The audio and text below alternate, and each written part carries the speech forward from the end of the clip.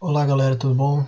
Eu sou o professor Fabrício Queiroz né, e vamos falar um pouquinho sobre polaridade.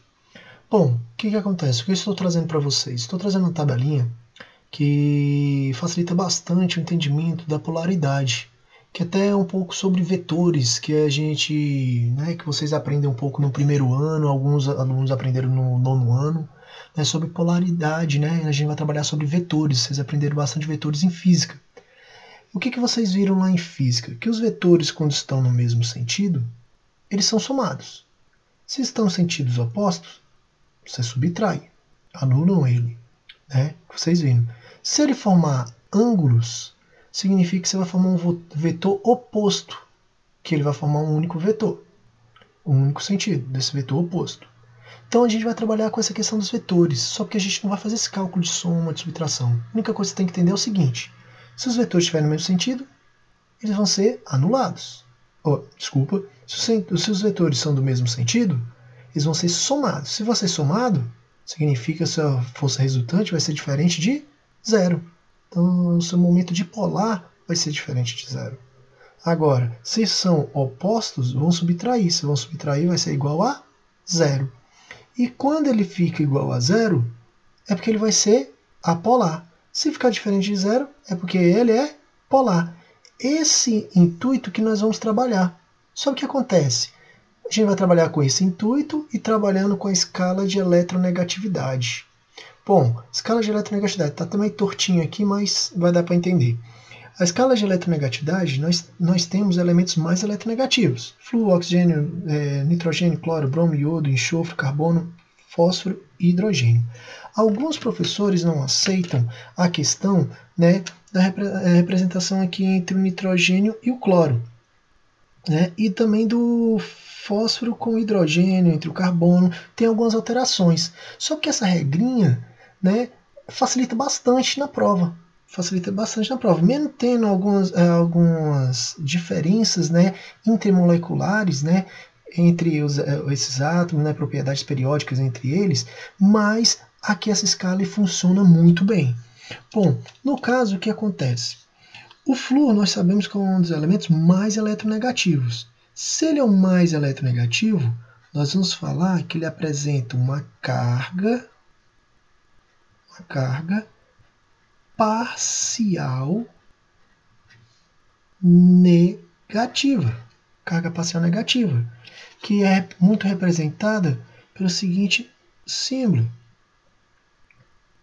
com o seguinte símbolo. Ok? Bom, o hidrogênio ele não é eletropositivo. Ele, ele tende a receber elétrons. Ele tem uma eletronegatividade. Só que ele não é muito eletronegativo relacionado ao flúor. Então, nesse caso aqui, eu posso falar que o hidrogênio ele vai apresentar uma carga parcial positiva. Por que uma carga parcial positiva? Porque ele não é positivo, ele não está perdendo elétrons para virar um cátion. Ele vai ser uma carga parcial porque ele é menos eletronegativo. Por isso vai ser uma carga parcial positiva. Ele é colocado. Então o que acontece? Se a gente for fazer uma análise, quem é o elemento mais eletronegativo? Então, os elementos mais eletronegativos, ó, eles vão tender a aumentar da direita para a esquerda. Para a esquerda. Então, os elementos mais eletronegativos. Então, eu tenho o hidrogênio, que é menos eletronegativo que o fósforo, que é menos eletronegativo que o carbono, que o enxofre, que o hidrogênio, que o bromo, que o... e assim por diante.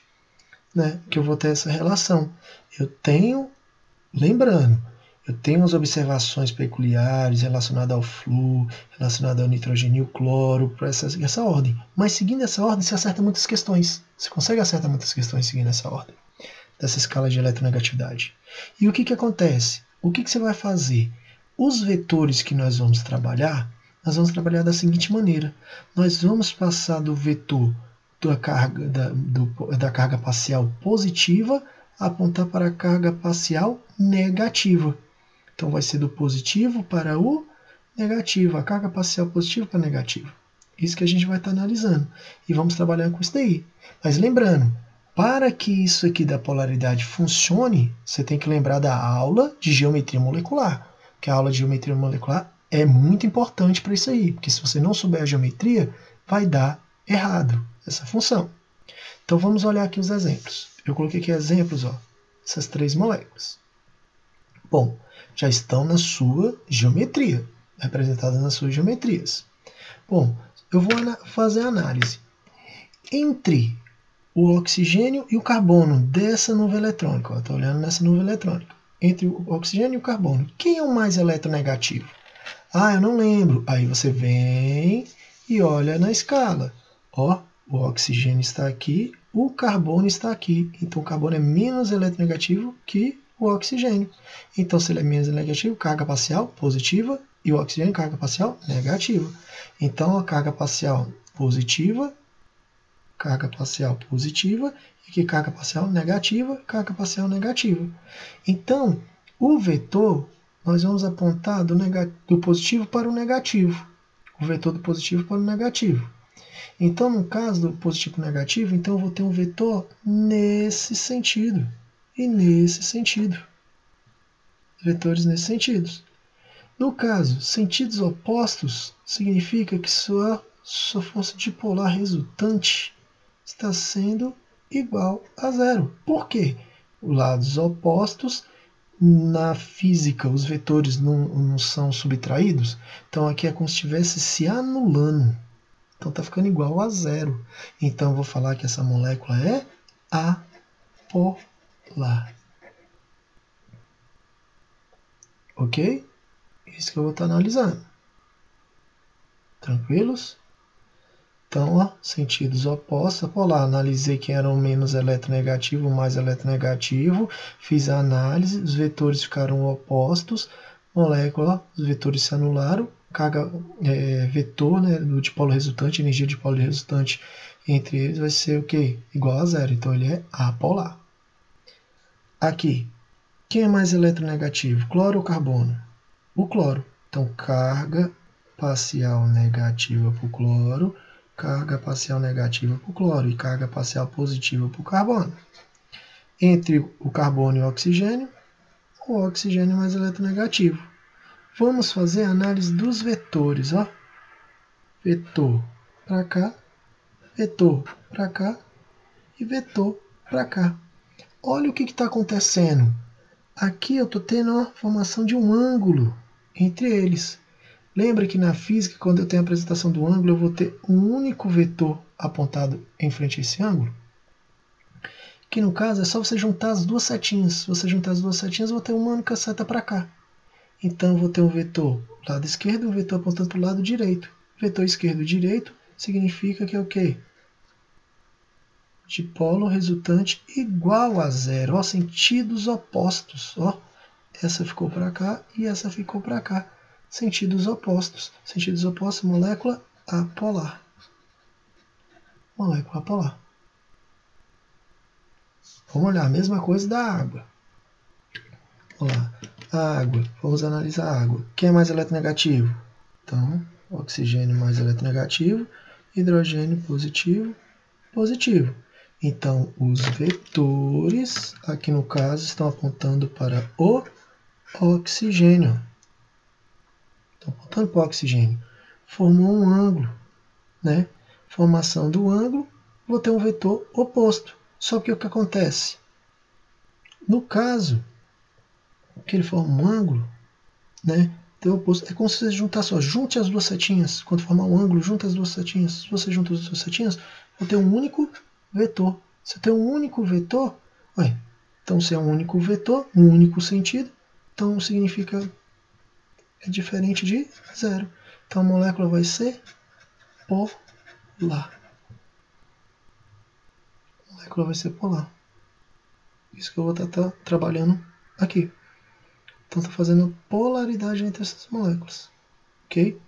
E aqui dá para explicar muita coisa através dessa polaridade. Então a gente vai vendo os vetores. Ah, eu, eu tenho, tenho um ácido fluorídrico. HF. E aí? Vai só fazer a mesma análise. né? Carga parcial mais positiva do hidrogênio, negativa um único vetor, olha lá, um único vetor para o mais eletronegativo. Então eu vou ter o que? Diferente de zero, molécula polar. Então o que acontece? O que, isso aqui explica muita coisa. Isso aqui explica muita coisa. Se a gente for observar, olha só, se a gente observar, a água se mistura com gás carbônico? Não, não vai ter uma mistura. Nós não temos uma, uma mistura, uma solução de água, né? Ó, nós não temos uma solução de água com gás carbônico. Por quê? Por isso que a gente abre o refrigerante, quando a gente abre água, água gasificada, né, o gás vai embora. Por quê? Porque a água é polar e, a água, e o gás carbônico é apolar. Polaridades diferentes se misturam? Não. Não vão ter interação entre as moléculas. Então, a interação entre as moléculas só acontece com elementos de mesma polaridade. Então, se eu pegar o ácido é, fluorídrico, o ácido fluorídrico, e reagir com a água, os dois vão ter uma, os dois vão ter uma interação? Vão. Então, o que, que acontece? A interação está relacionada à sua polaridade. Elementos de mesma polaridade vão ter interações, vão se unir vão ter uma ligação, vão ter interação entre elas. Se não são da mesma polaridade, não tem interação entre as moléculas.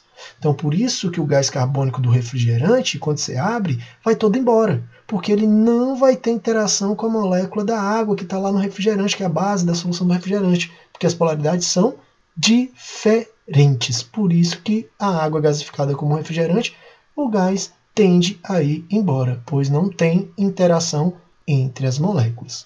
Beleza? Então, terminamos por aí e até a próxima.